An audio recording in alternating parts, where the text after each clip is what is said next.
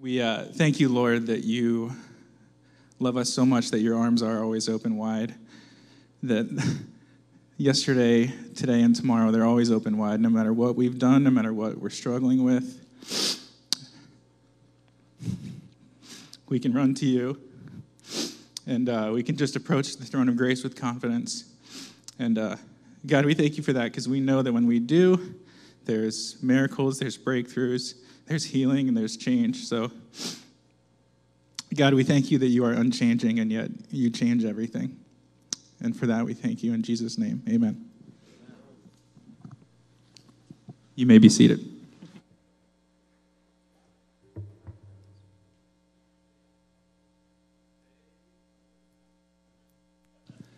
Today's scripture reading can be found in Luke 13, uh, verses 1 through 9, and in verses 31 to 35. We'll put the verses on the screen for you, and if you do not have a printed Bible, uh, please find a member of our VIP team after the service, and we'll give you a Bible. Verse 1 There were some present at that very time who told Jesus that the Galileans whose blood Pilate had mingled with their sacrifices. And he answered them, do you think that these Galileans were worse sinners than all the other Galileans because they suffered in this way? No, I tell you, but unless you repent, you will all likewise perish. Or those 18 on whom the tower in Siloam fell and killed them. Do you think that they were worse offenders than all the others who lived in Jerusalem? No, I tell you, but unless you repent, you will all likewise perish. And he told this parable. A man had a fig tree planted in his vineyard, and he came seeking fruit on it and found none. And he said to the vine dresser, Look, for three years now I have come seeking fruit on this fig tree, and I find none. Cut it down. Why should it use up the ground? And he answered him, Sir, let it alone this year also, until I dig around it and put on manure. Then if it should bear fruit next year, well and good. But if not, you can cut it down. And this is verses 31 to 35. At that time, some Pharisees came to Jesus and said to him, Leave this place and go somewhere else. Herod wants to kill you. He replied, Go tell that fox. I will keep on driving out demons and healing people today and tomorrow. And on the third day, I will reach my goal. In any case, I must press on today and tomorrow and the next day, for surely no prophet can die outside Jerusalem. Jerusalem, Jerusalem you who kill the prophets and stone those sent to you, how often I have longed to gather your children together, as a hen gathers her chicks under her wings, and you were not willing. Look, your house is left to you desolate. I tell you, you will not see me again until you say, Blessed is he who comes in the name of the Lord.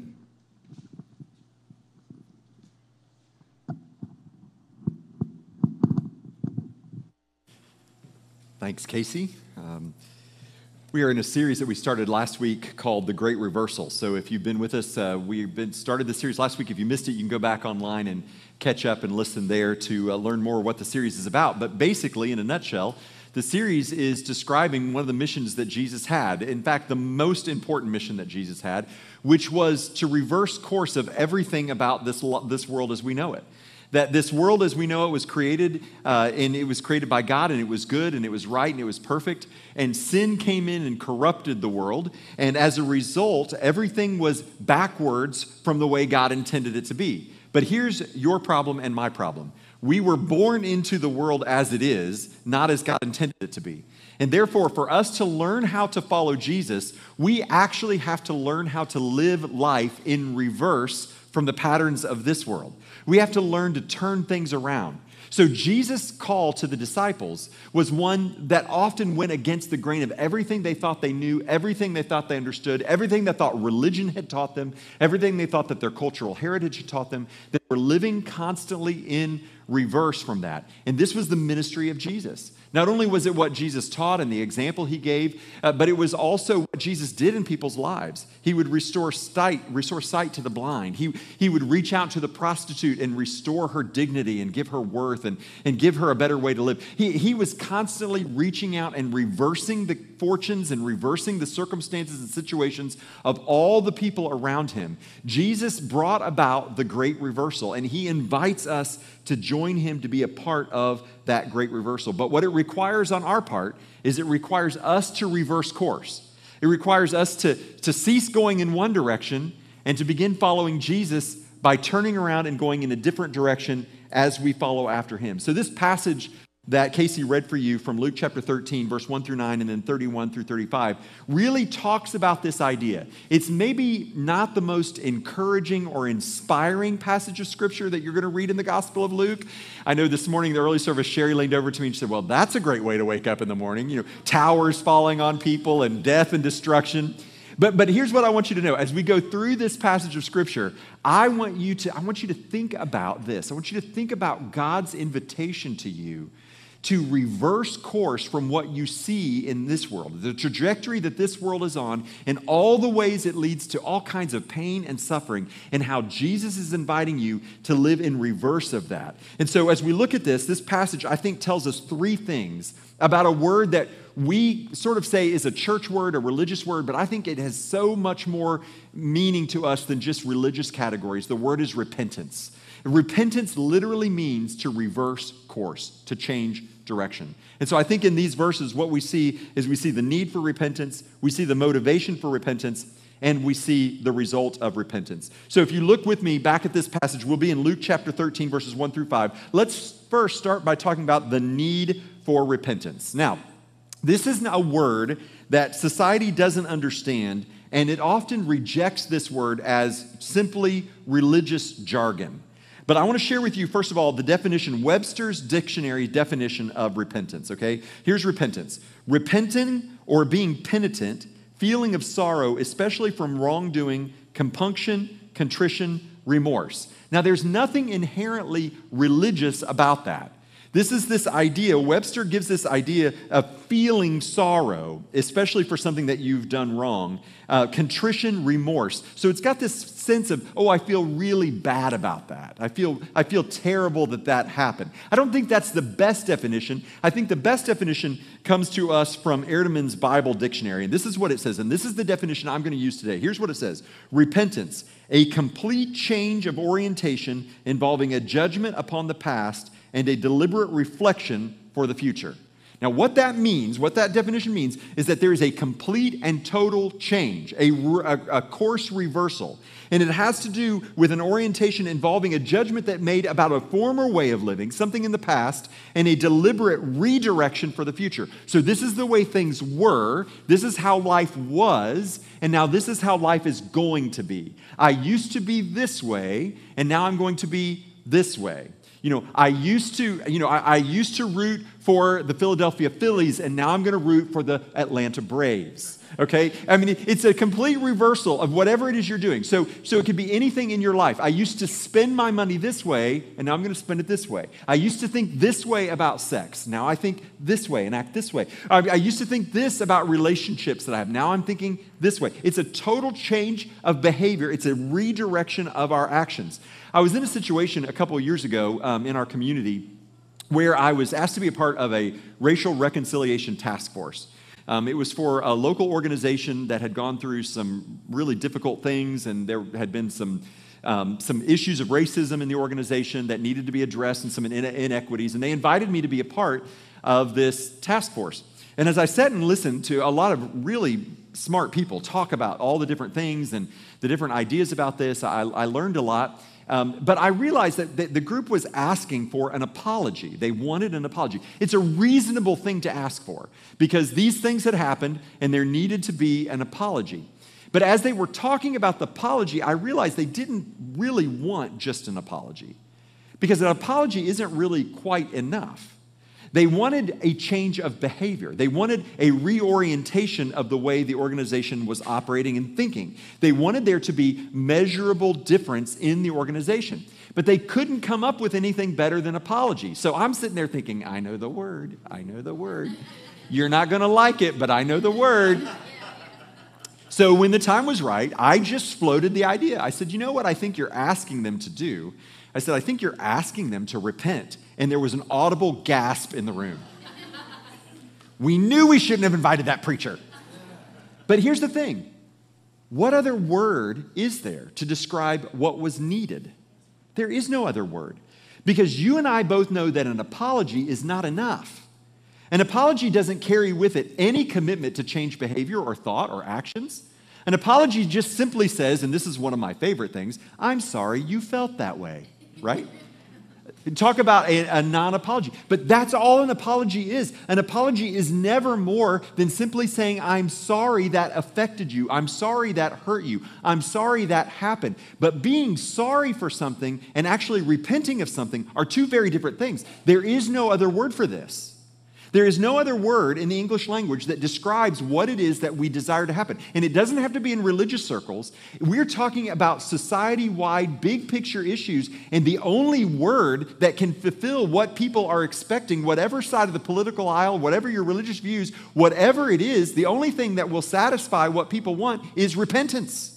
It is ultimately a change of orientation, a change of thinking away from one way to another. It's a change in behavior.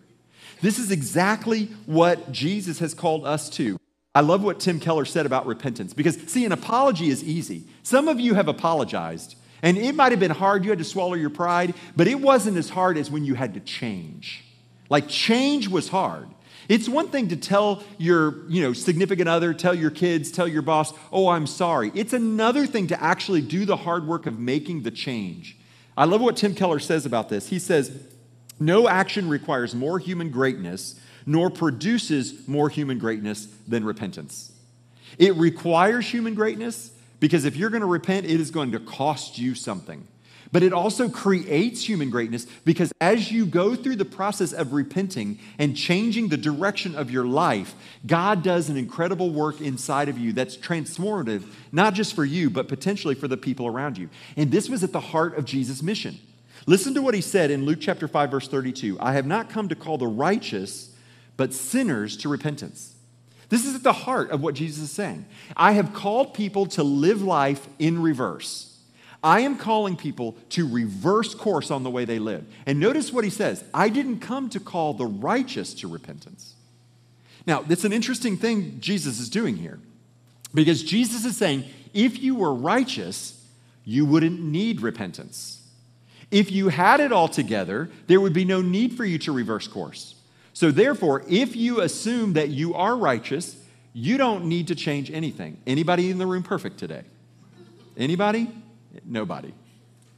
If, because here's the thing what is Jesus saying? You don't need me if you think you're already righteous. You don't need me if you have it all together. But I have called, come to call sinners to repentance, to reverse course. He got this cousin John the Baptist, as John was preaching down by the Jordan River, as he's calling people into the baptismal waters, said this bear fruit in keeping with repentance. Now, that's an interesting phrase. John is saying, bear fruit in keeping with repentance. So the question is, well, what is the fruit of repentance? What, what does repentance look like? And you may not have put these words on it, but I know you've thought about this. I know at some point, eh, whether it was in a marriage relationship, whether it was a situation with a boss, you at some point have thought to yourself, what would it take to make this right? Well, she would have to do a, B, C. He would have to do this. If, he, if they're going to make it right, it's not just an apology. This is what they're going to have to do. Let, let me share some of these words with you and see if this helps us understand what repentance is required, what is required of us in repentance, and what we're looking for other people when they repent. First of all, fruit, fruit in keeping with repentance. First is responsibility. We must take responsibility for our sin. Now, that's another church word we don't like. But let me just change the word and see if you like this better. We must take responsibility for our mistakes. Yeah, I mean, I mean, a mistake is something you make on a math test. Uh, a mistake is like, I didn't mean to do that. I, I, I bumped into the, you know, I, I, I scraped your car. I didn't mean to. I didn't plan to scrape your car with my bumper as I'm pulling out of the. That's a, that's a mistake. That's an accident. But what we're talking about is something more than that. We're talking about stuff we choose to do on purpose. I did that on purpose. I think that way on purpose. I believe that on purpose. And so, what we're talking about is something more than a mistake. And we have to ultimately take responsibility for our sin. And the second thing we have to do is we have to regret. We must sincerely regret our sinful behavior. Not just that I'm sorry it made you feel that way, that's not good enough. But we have to ultimately feel sorry. We ultimately have to feel the regret that comes with our behavior. Not just the regret that it caused this other person pain, but ultimately the regret that we feel because of the pain we know that it causes God.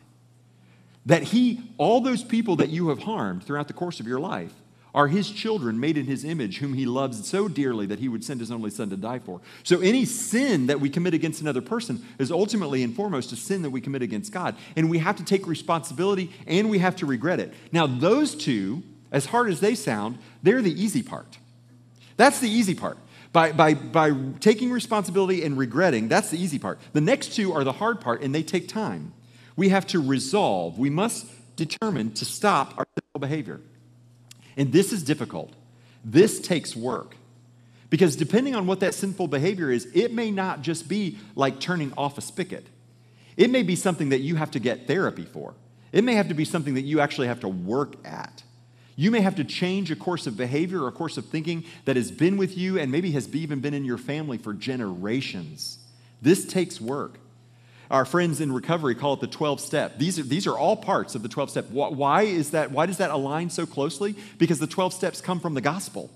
That ultimately, we not only take responsibility, we not only regret, but we make a resolve. We resolve in our minds and our hearts that we are going to change the way that we are behaving. And here, listen to me. This is why repentance isn't done in a moment.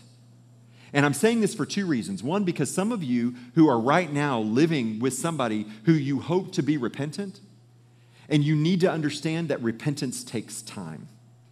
And you have to give people time to repent. You have to give people time to change the way they think, to change the way they behave. And it's not going to happen overnight. And yes, they may take a step back. But ultimately, your decision to accept an apology, that's instantaneous.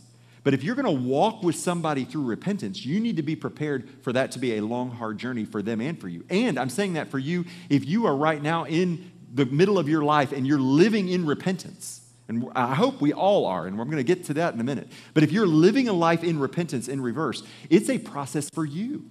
It's something that's going to take time for you to change your thinking, change your behavior. It's going to take time to reorient your life around a new pattern of living. So we resolve to change the way we live. And finally, we repair. We must do what we can to repair the damage our sinful behavior has caused. This, our, our friends in recovery call this making amends, and it can take a lifetime to do. It can be hard, and there's only so much you can do. There are some things you can't undo. You can't have your first marriage back. You can't bring your kid's childhood back. You can't do that. But what can you do? What is within your power in order to repair the damage? See, when we talk about repentance, we're talking about something so much bigger than an apology. And an apology will never suffice to bring about the change that we all know our world needs. This is why Jesus said, I did not come to call the righteous, I came to call sinners to repentance. Now, here's a question Do you know that you're a sinner? Because if you don't know that you're a sinner, then you fall in the righteous category, meaning that you think you've got it all together. But here's what we know by God's grace we are all sinners. And God has justified us by His grace through the blood of Jesus Christ. And therefore, we all recognize that on a daily basis, we need to live our life in reverse to, in order to follow Jesus in the course where He's leading us. So, this passage that, um, that was read for us earlier is an interesting story. Um, Jesus is talking to some disciples, and some people come up to Jesus and say, Hey, Jesus, what about those people who were killed in the temple? Because there were some Galileans who were, um, they were rebelling against Pontius Pilate in attacks he was issuing. And so they had rebelled, and Pontius Pilate was going to teach them a lesson. So he sent his soldiers into the temple as these Galileans were making their sacrifice. And as they're in there making their sacrifice, these soldiers come in and they're just supposed to beat the Galileans, but instead of just beating them, they actually kill some. And so the blood of these Galileans is mingling with the blood of the sacrifice that they've offered. And so these people are asking a legitimate question. They're coming to Jesus and saying, Hey, Jesus, what about those people? Like, tell me about them. It would be sort of like the question that maybe we would ask today when, when, you, when you see different things going on in the world a, a tragedy, a natural disaster, war like what's going on in Ukraine. And you would go to Jesus, because we would all do this Jesus, what about those people? Like, and here's the question, isn't it? Like, what did they do wrong? Now, come on. Like, because if you're a good God and you're a loving God and you're just, then that doesn't seem right that that suffering would be going on if you're still a good, loving, just God. So, Jesus, what about those people that were killed in the temple? That's the question. Well, Jesus one ups them. He's like, oh, yeah, you think that's bad. What about those guys who got killed down there when the tower fell on them? Like, you could blame Pontius Pilate on the first, but that's just a tower that fell down. What about that? And they're like, oh, that's even worse. Like, what? Okay, Jesus, what's up with this? What, were they bad sinners? Did they do something to, to, to offend God? Were they not living righteous lives, and that's why the Herod, that's why Pontius Pilate killed them? They weren't living righteous lives, and that's why the tower fell on them? And see, here's the reverse thought in that, okay? Here, if we think this way, here's the reverse thought. Well, towers aren't falling on me, so I must be okay. You know, the police aren't coming into my church and taking me off. I must be doing all right. You know, there's not a, Canada's not invading America, so we must be doing good, right?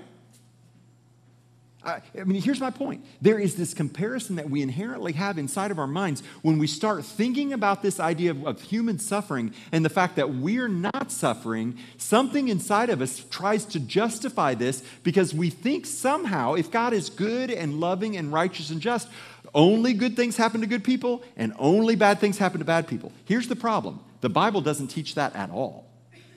If you read the book of Job, what do you read? you read the story of a man who was a righteous man. God called him righteous. And yet he lost all of his children, all of his wealth, his health. He lost everything. And he said, The Lord gives, the Lord takes away. Blessed be the name of the Lord. Jesus' disciples are walking uh, one day and they pass a man who is blind, blind from birth. And they say, Jesus, who sinned? This man or his parents that he was born blind? And Jesus said, Neither. You guys don't get it. You don't understand. This guy's blindness is ultimately going to be bring glory to God. It's going to bring glory to the Father. And then Jesus healed him. It had nothing to do with the man's sin. It didn't mean he was less righteous than Peter or James or John. And if you continue on through the story, you start asking questions. Okay? If John the Baptist, John the Baptist, who was Jesus' cousin, Jesus said there was nobody born of woman better than John the Baptist. And yet John the Baptist was arrested by Herod and beheaded. Meanwhile, Peter denied Jesus three times and lived. Was John the Baptist a worse sinner than Peter? Or was Peter a worse sinner than John the Baptist? Well, what about this? What about the fact that Stephen and James, the two earliest disciples who were martyred for their faith, that they were arrested and ultimately executed. Meanwhile, Peter and Silas, an angel comes and delivers them out of prison, and they get away. They escape. Were Stephen and were Stephen and James worse sinners than Peter and Silas? You see, this is the problem we have. When you look at the world and you see the, wor- the way the world work- works, you look at what's going on in different parts of our world the suffering, the pain, the, the, the death, the anguish, the unfairness, the injustice of it. And we say to ourselves, where is God in the middle of that? What we need to do is look in the mirror and say, for whatever reason, there, but for the grace of God, go I. It is out of it is out of the realization that unless we repent. See, Jesus said to these guys, you see that tower that fell on them? You see those people who died in the temple? I tell you, unless you repent, you will end up just like them. Here's the truth, okay? Big reveal. You ready? Unless Jesus comes back, you're all going to die. Okay? I mean, right? Unless Jesus comes back, you're all going to die. Now, it may not be as dramatic as a tower falling on your head. It may not be as dramatic as the invasion of an army into your place of worship. But the ultimate truth is what Jesus is saying is, guys, at the end of the day, the sun rises on the just and the unjust. God causes the rain to fall on the evil and, and the righteous alike. This is the world in which we live. Every single one of us are called to live in repentance, to live in reverse what does he say? He says it twice in Luke 13, 3 and 5. No, I tell you, but unless you repent, you will all likewise perish. You see, we tend to infer from superior circumstances superior character. Because I've got money in the bank, because I'm healthy, because I'm secure in my country, because I'm secure in my faith, because my church is secure. We somehow think, and it's, it's insidious. You don't consciously think this, but what happens is somewhere inside your mind, the enemy begins to say, Yeah, you're doing good. You're just fine. Because if you weren't fine, surely these good things wouldn't be happening to you. You must be righteous. You don't need to repent. And what does Jesus say? No. No, unless you repent, a tower's going to fall on your head too, because death is coming and we all have to live in reversal. Don't compare. When bad things happen to other people, we don't look at them and compare. We look at them and we repent. We look at them and we repent. And this leads us to the motivation for repentance. And, and I think it, it's said best for us in Romans 2 4. God's kindness is meant to lead you to repentance. God's kindness to you is meant to lead you to repentance. When you woke up this morning and you weren't holed up in your home because the military had invaded your country, God's kindness to you in that moment should lead you to repentance. When you woke up and you knew where your children were, God's kindness leads you to repentance. When you woke up today and you're not battling cancer and your loved ones aren't battling cancer, God's kindness leads you to repentance. And when you wake up and the diagnosis is cancer, and when you don't know where your kids are, and when the army invades, guess what? God's kindness still leads to repentance. This is what God has called us to to live life in reverse. It is not based on our circumstances, be they good or be they bad. God's kindness. Tim Keller said, uh, repentance is the conviction of two realities. The first one is that you can't repent unless you realize that you deserve to have a tower fall on your head. Unless you realize that you deserve to have a tower fall on you, you can't repent. Because as long as you believe that you deserve the good things that are happening, then there's no reason for you to ever repent of your behavior because your behavior is producing the goodness you're experiencing in life. You see how that works? If my, if my behavior, if my circumstances are good, and my behavior is producing those good circumstances, why would I ever repent of that? Instead of seeing it as just God's kindness to you. See, here's a question that we all wrestle with. And, and you don't, whether you're not a Jesus follower at all, whether you've been following him your whole life, at some point in your life you've asked this question Why do good things happen to bad people? Why? Why do good things happen to bad people? Well, there's a couple of assumptions in that question. The first assumption is that there are good people. I mean, come on, let's be honest. What is the definition of a good person? How good does somebody have to be in order for them not to suffer any of the consequences of living in a fallen world? How good do you have to be? Do you have to be as good as Job? Well, clearly you have to be better than Job. Do you have to be as good as John the Baptist? Nope, you have to be better than John the Baptist. What about Jesus? Do you have to be as good as Jesus? They crucified him right? I mean, here's the point. Here's the point. Unless we come to grips with the fact that we all deserve, except for the grace of God, any, anything bad that happens, we will never live with true appreciation of God's blessings and grace in our lives. It's by His grace that we live, it's by His grace that we understand these things. God doesn't owe you a good life. I know that that doesn't feel like a very warm and fuzzy message on a Sunday morning. But when you come to grips with the fact that God doesn't owe you health and wealth and well being and happiness and satisfaction, when you come to grips with that, here's, what's, here's what happens you suddenly become grateful. You suddenly are filled with gratitude because I don't deserve these things, and yet God has chosen to give them to me. And when the bad things happen, guess what? I probably deserve worse than that. And God is not leveraging that out based on my good or my bad behavior. God is the same yesterday, today, and forever. I live with the consequences of a fallen, broken world. And so, yes, there are times the rain falls, and there are times the armies invade, and there are times the diagnosis is cancer, and there are times the spouse leaves, and there are times the bank account is empty.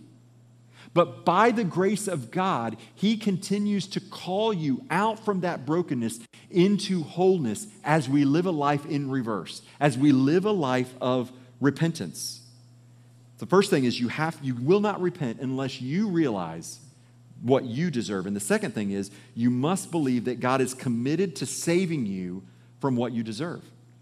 That God is committed to rescuing you. And He's not just trying to rescue you from an uncomfortable circumstance, He wants to rescue you from ultimate and final destruction. Look what happened in, in verses 6 through 9. There's this, there's this tree planted in a vineyard.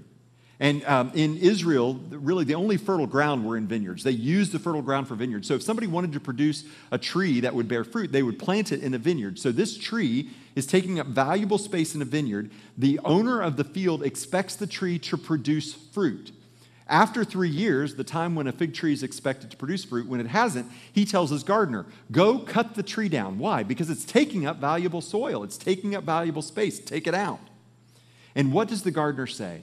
He says, No, let me tend it, give it another chance. Here's the truth when you were still a sinner, that was what Jesus did for you. That Jesus, when your life was not bearing any fruit, Jesus said, Let me have an opportunity. Let me tend, let me care for, let me nurture. So that when we were unproductive, when we were sinners, Christ died for our sins. Jesus, as the gardener, came to rescue and save us. And then what do you see in verse 31 through 39? Jesus, as he heads to Jerusalem, the Pharisees warn him that Herod is trying to kill him.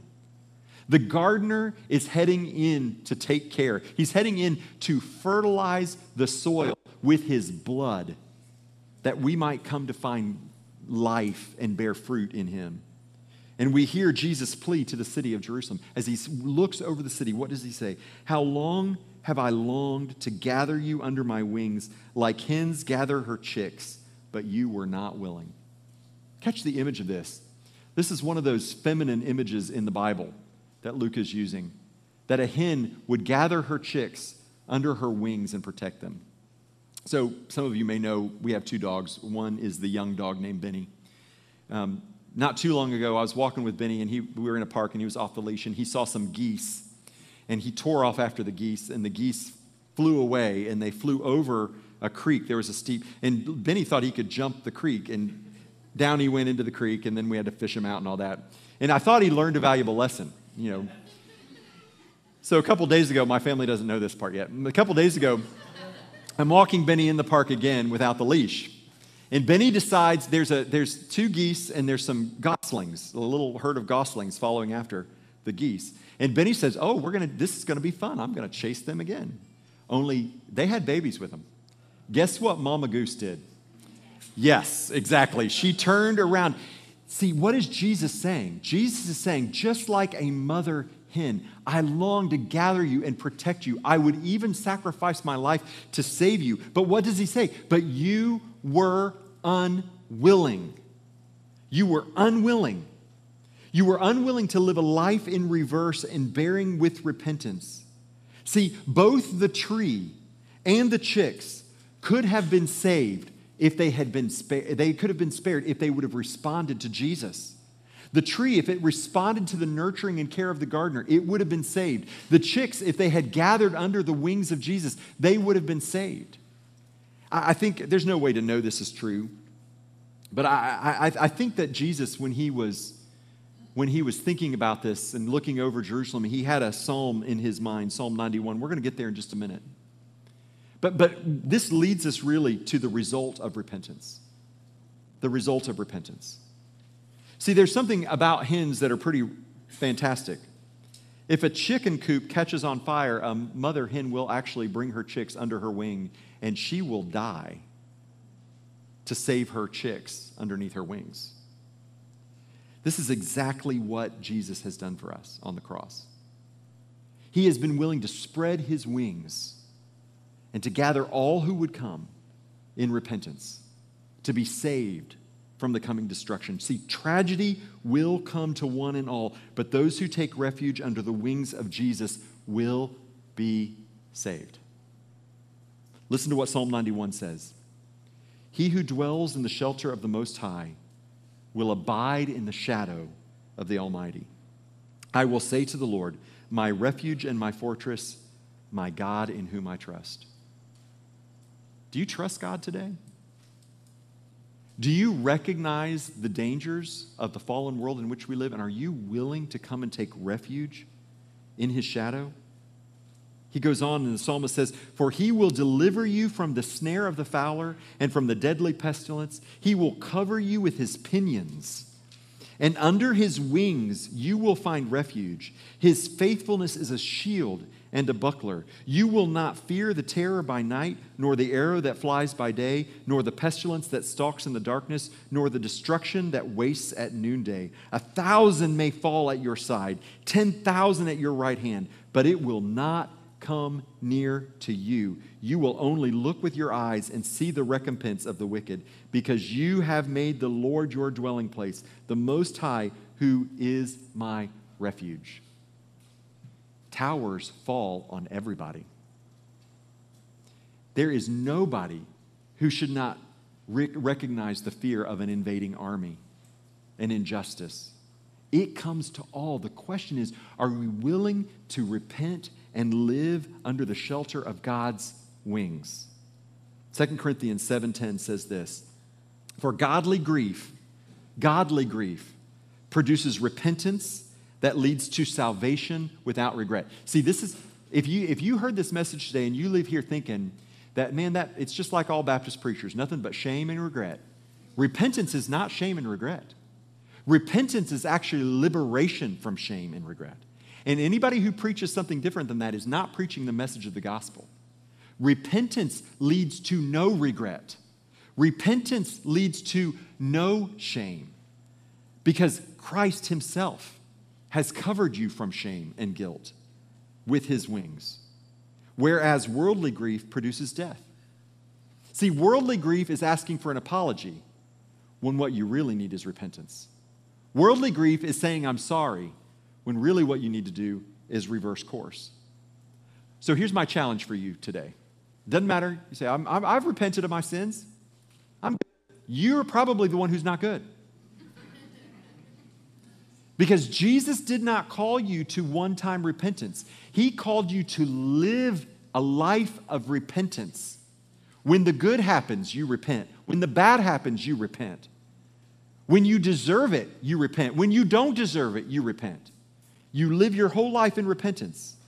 And if you are here today and you've never followed Jesus, this message is for you as well. Seek to live a constant state of reversal.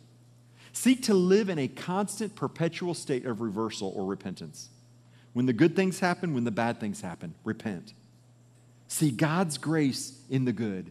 See God's grace in the bad. And here's a little test for you. If you think, well, I, I, I think I do that. I'm living in, I'm, I live in, I, am in repentance. I'm grateful when the good things happen. Uh, you know, and I, I'm grateful when the bad things happen too. I'm giving thanks in all things. But let me give you a little test, all right? When something good happens to you, or when the last good thing happened to you, did you say or did you think it's about time? It's about time. It's about time I got the raise. It's about time I got the promotion. It's about time, whatever. When something good happened, did you think it's about time? Because here's the thing if you did, you robbed God of the glory that He is pouring His goodness on you, not because you deserve it, but because He is just good. You, you, and you live in a state of satisfaction rather than a state of gratitude. Let God's kindness lead you to repentance today and every day. I'm going to invite you to bow your heads, and as you do, um, we're going to sing one final song, and we're going to do something we don't always do in this service, but we're going to do it today, and that is just just extend uh, an invitation for you. Um, maybe for some of you who have never repented at all, and you would like to reverse course and follow Jesus. Today would be a day, a great day. But the rest of us who say we've done that, but maybe we've been satisfied to just continue to live in the flow of the world and not reverse course. Maybe today would just be an opportunity to accept Jesus' call to live in repentance. Father God, we come to you today and we are grateful for your love and your grace, your kindness that leads us to repentance. Father, it's a call to freedom and a call to protection. Lord, it's not a guarantee that bad things won't happen, but it is the promise that through the bad, you are the same yesterday, today, and forever. That you have called your own to gather under the shelter of your wings. And Lord, just as Jesus extends his arms on the cross, Lord, may we gather within the shadow of his wings and find safety, find fulfillment.